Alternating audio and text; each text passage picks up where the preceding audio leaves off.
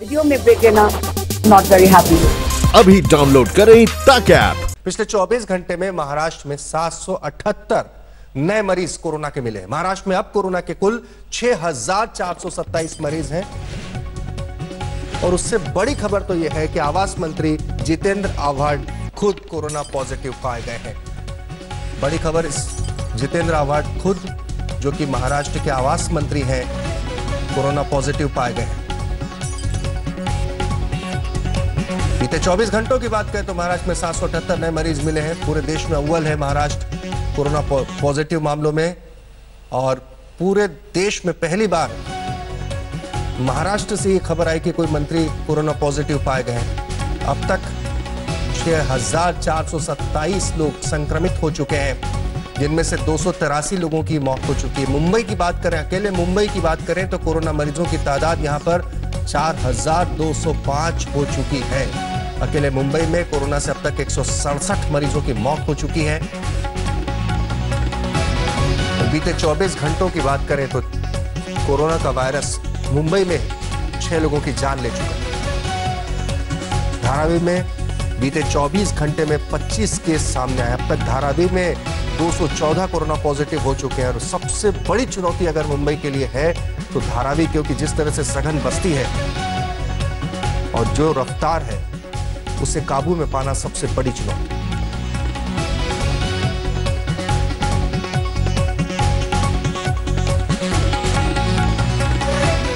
और अब देखिए, मुंबई में क्यों तेज़ी से घूम रहा है कोरोना का मीटर? बीएमसी कमिश्नर बताएँगे कैसे जीतेंगे कोरोना से जंग। हमारे वरिष्ठ सहयोगी साहिल जोशी ने उनसे खास बातचीत की।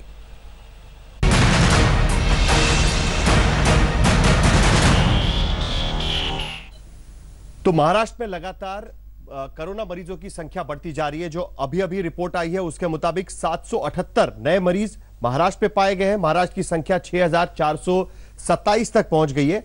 लेकिन महाराष्ट्र में भी ज़ाहिर सी बात है कि मुंबई में सबसे ज़्यादा मरीज़ इस वक्त है 4,205 मरीज़ मुंबई में पाए गए और अकेले मुंबई में पिछले 24 घंटे में यह संख्या करीब पाँच मरीजों से बढ़ी हुई है। दो सौ तिरासी मौतें पूरे महाराष्ट्र में हुई है और एक सौ इकसठ मौतें इसमें से सिर्फ़ मुंबई में हो चुकी है। और इस पूरे घटनाक्रम पर किस तरीके से हम कोरोना की इस लड़ाई में आ, उसको रोकने की कोशिश कर रहे हैं उस पर बात करने के लिए हमारे साथ है बीएमसी के कमिश्नर प्रवीण परदेशी और वो खुद हमें बताएँगे कि किस तरीके से मुंबई में किस तरीके से टेस्ट किए जा रहे हैं किस तरीके से उसको रोकने की कोशिश की जा रही है। परदेशी सर आज तक में आने के लिए सबसे पहले आपका बहुत बहुत शुक्रिया। शुरुआत इसी से होगी कि पाँच नए केसेस मुंबई में लगातार जो आंकड़ा है वो बढ़ रहा है। क्या वजह आप बता सकते हैं कि क्यों यह आंकड़ा लगातार बढ़ रहा है? क्या हमारी कंटेनमेंट जोन की पॉलिसी कहाँ तक सफल हुई है? यहाँ से हम सबसे पहले शुरुआत करेंगे। ठीक है, धन्यवाद। तो ये इंफॉर्मेशन सबको देना बहुत ही ज़रूरी है। तो ये आंकड़ा बहुत बढ़ने का मेन कारण ये है कि हम लोगों की टेस्टिंग जो हमने साउथ कोरिया में भी देखा और बाकी के देशों में भी देखा कि जहाँ टेस्टिंग होता नहीं था वहाँ कंट्रोल नहीं आ सका। तो अभी अगर आप देख सकते हैं तो हमने 4,270 प्रति 10 लाख टेस्टिंग किया है। मतलब पंचावन हज़ार। पूरे बड़े बड़े स्टेट्स हैं जैसे केरला सिर्फ़ इक्कीस हज़ार टेस्ट किए हमारे से आधे भी टेस्ट नहीं किए हैं। दिल्ली जो बहुत बड़ा शहर है सत्ताईस हज़ार सिर्फ़ टेस्ट किए हमने पच्चावन हज़ार टेस्ट किए। तो इसका परिणाम ऐसा होता है आप देखेंगे कि जैसे हम टेस्ट बढ़ाते हैं तो वैसी संख्या रोज बढ़ती है। अगर हम ये टेस्ट बढ़ाई नहीं, ये पीली लाइन अगर देखेंगे, आज जो पचास फिफ्टी फाइव थाउज़ेंड तक पहुँच गई है, तभी हमारे को ज़्यादा से ज़्यादा पॉजिटिव केसेस मिलते हैं। पॉजिटिव केसेस मिलने का नुकसान है कि फ़ायदा है? तो इसके अंदर फ़ायदा ऐसा है कि जितने ज़्यादा पॉजिटिव केसेस हमको ध्यान में आते हैं, जैसे आज हमारे पास तीन हज़ार सात सौ केसेस हैं तो उनके हम कॉन्टैक्ट्स या उनके जो संपर्क में आए हुए उनको ट्रेस कर सकते हैं। आज हमारे एक लाख से थोड़ा कम इतने लोगों को हमने ट्रेस किया। और इसको ट्रेस करने का फ़ायदा यह होता है कि उसमें से जो लोग ज़्यादा से ज़्यादा इनके इनको इनके संपर्क में आए उनको हम इंस्टीट्यूशनल क्वारंटाइन में रख सकते हैं ताकि इनसे दूसरों को ये स्प्रेड ना हो। आप पूछ रहे थे कंटेनमेंट जोन के बारे में। तो हमारा कंटेनमेंट जोन की आ, का पॉलिसी बहुत ही स्ट्रांग पॉलिसी है। स्लम एरिया के 326 ऐसे कंटेनमेंट जोन्स बनाए हैं और जो बिल्डिंग्स में बहुत ज़्यादा केसेस है, ऐसे 447 है। तो इस कंटेनमेंट जोन में लोगों को हम लोग खाना और अन्न पुरोठा करने का देखते हैं, परंतु उनके लोग बाहर नहीं आ सकते और बाहर से कोई लोग अंदर नहीं जाते। तो मुझे लग रहा है कि कंटेनमेंट जोन का अभी फ़ायदा इसलिए दिख रहा है कि दोनों, वर्ली कोलीवाड़ा और सबसे बड़ा जिसके बारे में लोग बहुत डर रहे हैं धारावी तो धारावी में 280 के करीबन सब केसेस अभी कन्फाइन हो गए हैं। अभी केसेस बढ़ नहीं रहे जबकि हमने वहाँ हज़ार से भी ज़्यादा टेस्टिंग उनके जो निकटतम उनके संपर्क में लोग थे उनका किया है। 11 मार्च को मुंबई में पहला केस पाया गया था और आज हम 23 अप्रैल अप्रैल को बात कर रहे हैं। तीन मई तक यहाँ पर लॉकडाउन की घोषणा है। आज की स्थिति में ये प्रेडिक्शन हम नहीं जाना चाहते क्योंकि ये अलग तरीके का एपिडेमिक है लेकिन अ, जो कर्व फ्लैट होने की बात की जाती है क्योंकि अभी तो हमारा राइजिंग कर्व है। फ्लैट कर्व की बात हम कब से करना शुरू कर सकते हैं किस तरीके से हम यहाँ तक पहुँच सकते हैं ये एक सबसे बड़ा सवाल है। तो इसमें बहुत बड़ी बात ऐसी होती है कि रेट ऑफ़ डबलिंग क्या है? तो कुछ दस दिन पहले बंबई का रेट ऑफ़ डबलिंग साढ़े तीन दिन में केसेस डबल हो रहे थे। वो हमने अभी बढ़ा के 7.3 का डबलिंग रेट कर दिया जो हमको 10 तक ले जाने की हमारी कोशिश है।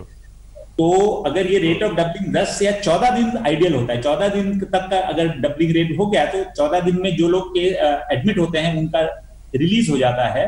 अ, वो और नए केसेस अगर आए भी तो हमारी हॉस्पिटल की बेड कैपेसिटी ये नहीं होगी ओवरवेलम नहीं होगी। तो अगर अभी हमने डबलिंग रेट को काफ़ी धीमा कर दिया है। साढ़े तीन दिन से सवा सात दिन तक ये इसका थोड़ा फ़ायदा हुआ। ये कंटेनमेंट जोन्स और कॉन्टैक्ट ट्रेसिंग और कॉन्टैक्ट ट्रेसिंग के लोगों को क्वारंटाइन में रखना इसका फ़ायदा हुआ। जी अ, एक सवाल यह भी है कि पिछले हफ़्ते जो टेस्टिंग प्रोटोकॉल है वो ज़ाहिर सी बात है आईसीएमआर की गाइडलाइन के अनुसार उसको चेंज किया गया था लेकिन कुल मिलाकर फ़िलहाल मुंबई में हम जो सिम्टोमैटिक पेशेंट्स या जो सिम्टोमैटिक हाई रिस्क कॉन्टैक्ट्स है उसको हम टेस्ट कर रहे हैं। यानी पहले हम अब हम असिम्टोमैटिक कॉन्टैक्ट्स को भी टेस्ट करते थे लेकिन आज ऐसी स्थिति नहीं है। उसके बावजूद ये केस बढ़ रहे हैं। तो क्या आपको लगता है कि जो मांग की जा रही है एक हाँ, रैपिड टेस्टिंग की मांग की जा रही है। तो ये बात जी जी बोलिए। ये बात गलत है। जैसे हम लोग अभी भी असिम्टोमेटिक को भी बड़े पैमाने में टेस्ट कर रहे हैं परंतु आईसीएमआर की गाइडलाइन के प्रमाणे अगर निकटतम होगा उसका कांटेक्ट तो उसको पाँचवें या सातवें दिन टेस्ट करना पड़ता है। पहले दिन नहीं टेस्ट करना पड़ता है कांटेक्ट पहले दिन टेस्ट करने से नेगेटिव फॉल्स आता है। तो हम हमारी जो रिटर्न गाइडलाइंस है पाँचवें या सातवें दिन है और आपने देखा होगा कि अभी तक जितने भी हमको पॉजिटिव्स मिले हैं उसमें सबसे ज़्यादा पॉजिटिव्स कॉन्टैक्ट से मिले हुए हैं। तो हमारे करीबन 1400 पॉजिटिव्स हमने कॉन्टैक्ट की टेस्टिंग करके हमको अ, वो तो ये इसमें कोई भी प्रोटोकॉल में नहीं है। प्रोटोकॉल में हमने क्लैरिफिकेशन किया है और इस क्लैरिफिकेशन का फ़ायदा ये हुआ है कि पहले हमारी अ, जो रेट ऑफ़ पॉजिटिविटी थी वो तीन या चार परसेंट थी। तो अभी अगर आप देख सकते हैं कि हमने जो टारगेटिंग किया है इतने ज़्यादा टेस्ट करने के बावजूद भी ये जो रेट ऑफ़ पॉजिटिविटी है ये ये ये बड़ा इंपॉर्टेंट फैक्टर है इसलिए मैं इसमें फिर भी जाना चाहता हूँ। तो जी। ये देखिए तो ये जो रेट ऑफ़ हमारी पॉजिटिविटी है वो करीबन सात परसेंट तक चले गए चले गई है। मतलब हम लोगों का टारगेटिंग ज़्यादा सही हो, हो पा रहा है। ये देखिए तो ये 6.7 परसेंट तक हमारी पॉजिटिविटी रेट है। ये इसीलिए मिल रहा है क्योंकि हम सातवें दिन को निकटतम इसको करते हैं और फीवर क्लिनिक्स लेते हैं। फीवर क्लिनिक में जिसको भी फीवर है उनकी भी हम लोग टेस्टिंग कर रहे हैं चाहे उनका कांटेक्ट हो किसी से नहीं या ना हो। तो इसमें भी हमको क्या डेड बॉडीज का भी कोविड टेस्टिंग किया जा रहा है? क्या डेड बॉडीज का भी कोविड टेस्टिंग किया जा रहा है? क्योंकि उसको लेकर भी काफ़ी सवाल उठाए गए थे। तो विषय ऐसा है कि डेड बॉडी का आईसीएमआर की गाइडलाइन के प्रमाणे कोई टेस्टिंग नहीं किया जाता है परंतु उनका जो बरियल है बरियल फुल प्रिकॉशन के साथ किया जाता है। जो बताया गया है आईसीएमआर में अगर वो मुस्लिम डेड बॉडी हो तो उसको प्लास्टिक बैग में जाके दफनाया जाता है या फिर क्रिमेशन के लिए भी कम से कम लोगों के साथ उसका क्रिमेशन किया जाता है। ठीक है। सर आखिर में आ, ये जानना काफ़ी ज़रूरी है लोगों के लिए। क्या रैपिड टेस्टिंग मुंबई में किया जाएगा? क्योंकि अब केंद्र सरकार ने भी कहा था हालाँकि दो दिन रुकने के लिए कहा था लेकिन रैपिड टेस्टिंग किट्स काफ़ी संख्या में भेजने की बात चल रही थी। क्या मुंबई में रैपिड टेस्टिंग किया जाएगा ताकि ज़्यादा से ज़्यादा कॉन्टैक्ट ट्रेसिंग किया जाए ज़्यादा से ज़्यादा लोगों तक पहुँचा जाए एक। और दूसरी आखिर में ये बात भी समझनी होगी कि आपका पहले मानना था कि मे फ़र्स्ट वीक तक हम कर्व फ्लैटन कर पाएँगे। तो क्या अभी भी आपको लगता है कि दस पंद्रह दिन के बाद हम कर्व फ्लैटन कर पाएँगे? जो मुंबई के लिए बहुत ज़रूरी होगा।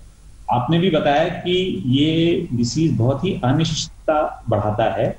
हम पूरे सभ्यता में ऐसे तरीके से आगे जा रहे हैं कि हमारी निश्चितता मतलब सर्टिनिटी हम बढ़ते हैं। जो इंडस्ट्रियल सिविलाइजेशन आदमी का बना हुआ है तो अगर हम लोग चालीस हज़ार साल पहले बताए तो आदमी का जीवन पूरा अनिश्चित होता था। कोई शेर कोई प्राणी आके उसको मार दिया तो कुछ समझता नहीं था। परंतु जैसे हमारा इंडस्ट्रियल रिवोल्यूशन बढ़ा तो सब चीज़ निश्चित हो गई।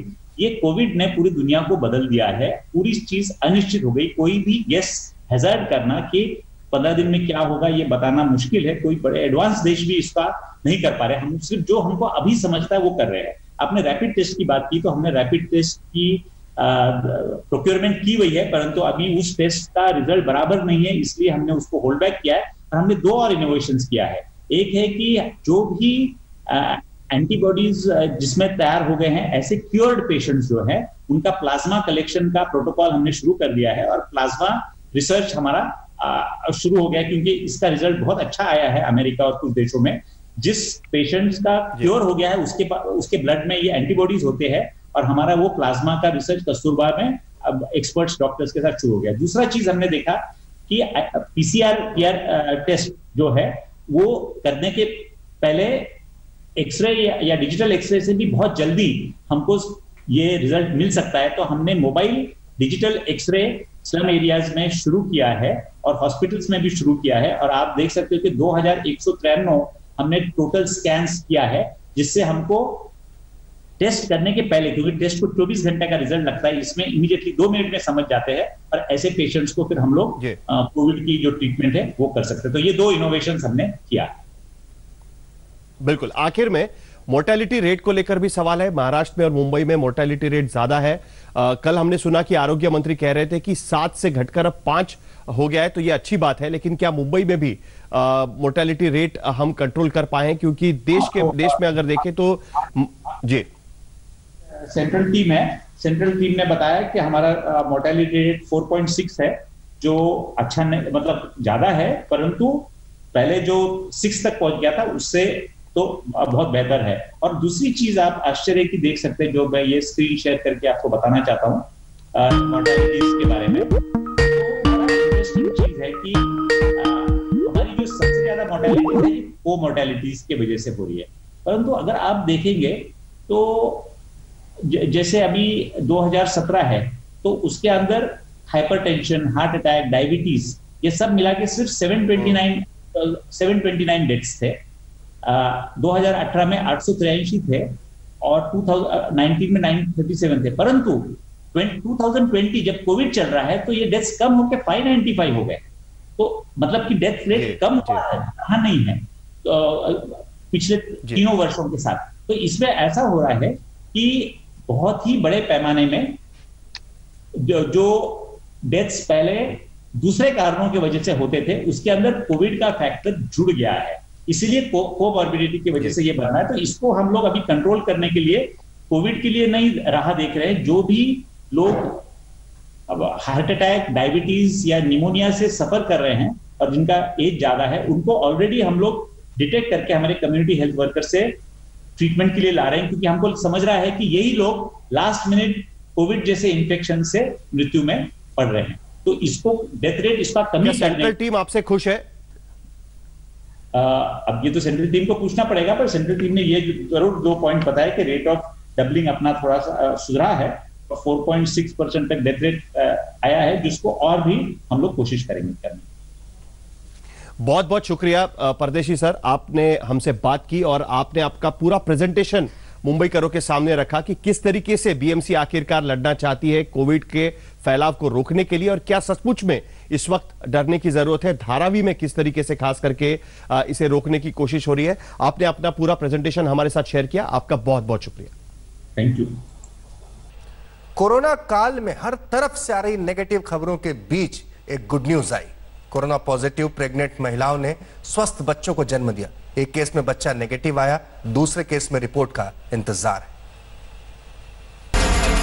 महाराष्ट्र के औरंगाबाद के सिविल अस्पताल में पैदा हुई ये बच्ची बहुत भाग्यशाली है। माँ कोरोना पॉजिटिव है और बच्ची नेगेटिव आई है। पर कोरोना की वजह से इस मासूम को अपनी माँ का स्पर्श तक नहीं मिला। पैदा होते ही माँ से अलग कर दिया गया। अब नर्स माँ से वीडियो कॉल करवा रही है।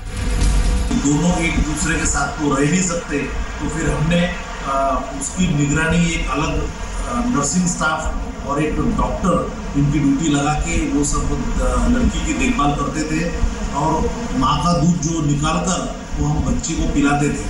आणि फिर एक दिन ऐसा लगा कि ये बच्ची की और माँ का वीडियो कॉलिंग करके जो नया तंत्रज्ञान है उसके माध्यम से दोनों की मुलाकात कर देना। तो वो एक हमने एक छोटा सा प्रयास किया जिसकी वजह से लड़की के चेहरे पर भी काफ़ी हँसी दिखी और माँ भी काफ़ी संतुष्ट हो गई। मुंबई के नानावती अस्पताल में भी दो कोविड 19 पॉजिटिव महिलाओं ने स्वस्थ बच्चों को जन्म दिया है। यहाँ पर भी पूरा ध्यान रखा जा रहा है कि माँ और बच्चे के बीच संपर्क न हो। पहली डिलीवरी 19 अप्रैल को हुई और दूसरी डिलीवरी 22 अप्रैल को हुई है। जच्चा बच्चा दोनों स्वस्थ है। बच्चे के कोविड टेस्टिंग भेजे गए हैं, रिपोर्ट्स अवेटेड है। जच्चा बच्चे को अलग आइसोलेशन वार्ड में रखा है। मदर कोविड पॉजिटिव आइसोलेशन में है और बच्चे जो पैदा हुए हैं, वो आइसोलेशन न्यूनेटल वार्ड में है। मुंबई, जो कि कोरोना वायरस से सबसे ज़्यादा प्रभावित है, वहीं पर मुंबई से गुड न्यूज़ भी आई है। मुंबई के एक हॉस्पिटल में, जहाँ पर दो महिला प्रेग्नेंट महिला जो कोरोना वायरस से पीड़ित है, उन्होंने दो स्वस्थ बच्चों को जन्म दिया है। काफ़ी खास ध्यान रखा गया था कि महिला और बच्चे एक दूसरे के कांटेक्ट में नहीं आए जब उनकी डिलीवरी हो रही हो। दोनों बच्चों को आइसोलेशन वार्ड में रखा गया है और दोनों की हालत बिल्कुल स्थिर है। नानावती अस्पताल में पैदा हुए इन बच्चों का कोरोना का टेस्ट अभी नहीं हुआ है। तीसरे और आठवें दिन बच्चों का टेस्ट होगा। बच्चे फ़िलहाल बिल्कुल स्वस्थ है। औरंगाबाद से इसरार चिश्ती और मुंबई से सौरभ वक्तानिया के साथ आज तक ब्यूरो। नमस्कार, मैं हूँ अंजना ओम कश्यप हमें उम्मीद है ये वीडियो आपको पसंद आया होगा। लेटेस्ट खबरों के लिए यूँ ही देखते रहिए आज तक और इस वीडियो के पसंद आने पर लाइक शेयर एंड सब्सक्राइब करना ना भूलें।